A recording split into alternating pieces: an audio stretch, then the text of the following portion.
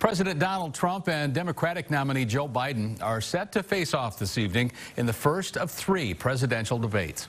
KCAU 9 Washington correspondent Morgan Wright has a preview in our top story at 5.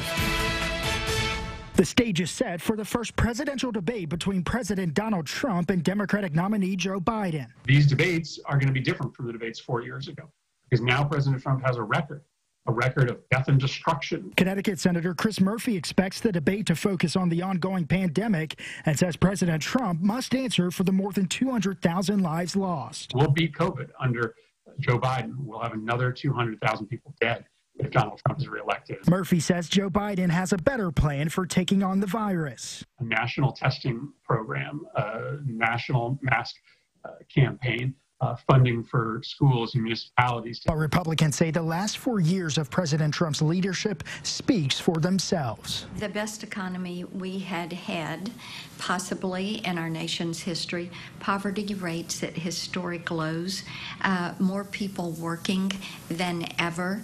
Tennessee Senator Marsha Blackburn says President Trump has a great opportunity to play offense during the debate and attack Biden's criticism of his COVID response. Donald Trump didn't stand for that slow moving agency process.